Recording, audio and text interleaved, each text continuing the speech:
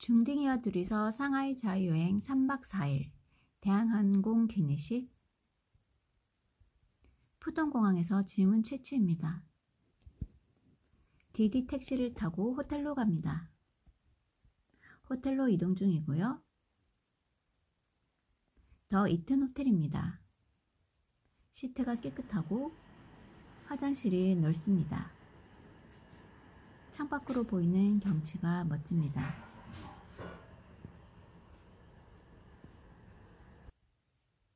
우캉 맨션입니다. 호텔에서 택시로 이동했고요. 사람들이 많았습니다.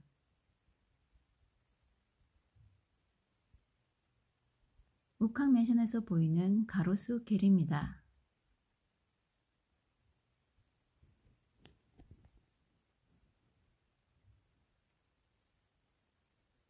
유치원입니다. 대한민국 임시정부입니다. 내부는 사진 촬영 금지입니다. 임시정부를 나와서 저희는 식당으로 갑니다.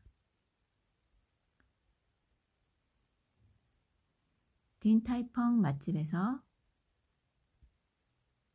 탄탄면과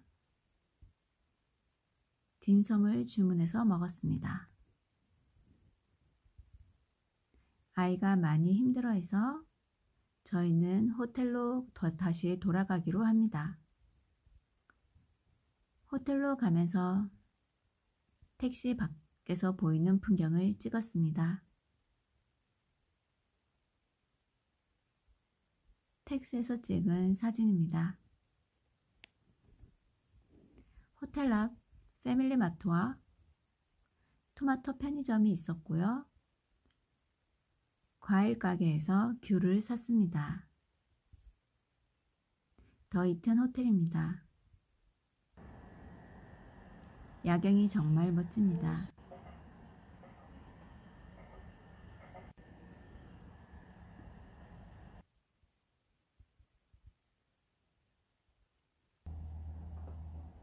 낮에 찍은 사진입니다.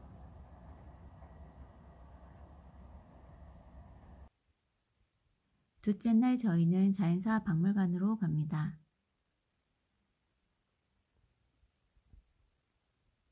2층에서부터 내려오는 시스템입니다.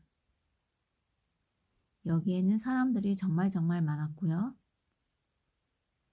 온갖 동물들이 모형으로 있었습니다.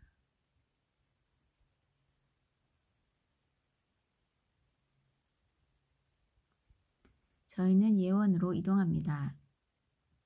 여기는 예원 근처이고요. 예원 근처 맛집을 찾아갔습니다. 미슐랭 맛집이고요. 저희가 주문한 음식입니다.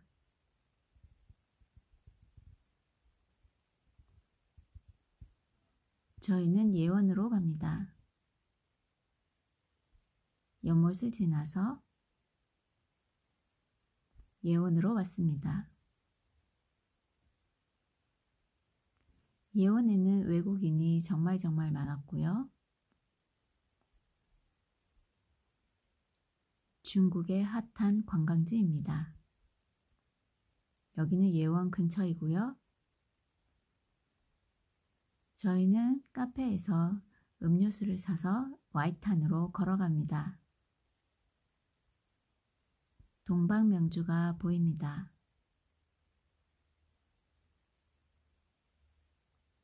중국에서 와이탄이 가장 멋졌던 것 같습니다.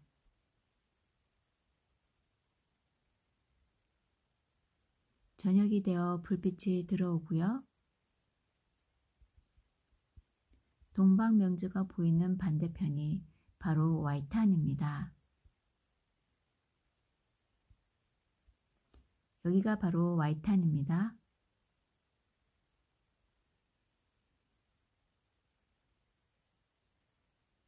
저희는 그랜드마더 식당으로 갑니다.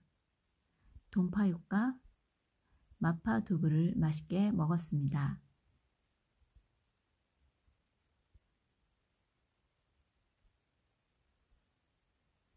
셋째 날 저희는 디즈니랜드로 갑니다.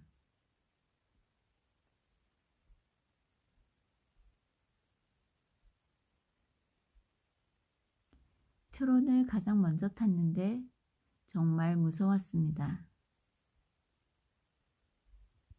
주토피아에서 아이스크림을 샀습니다. 줄 서서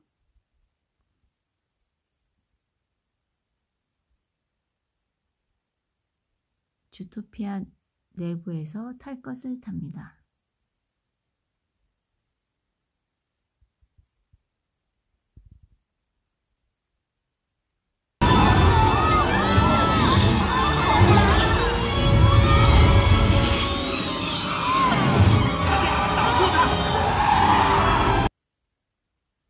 토이스토리 랜드입니다. 올라프네 올라프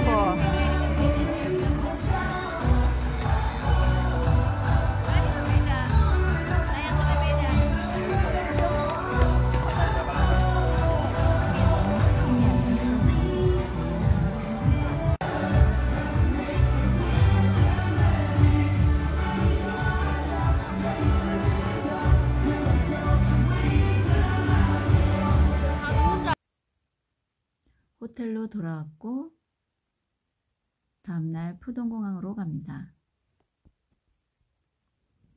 자판기에서 음료수를 뽑았고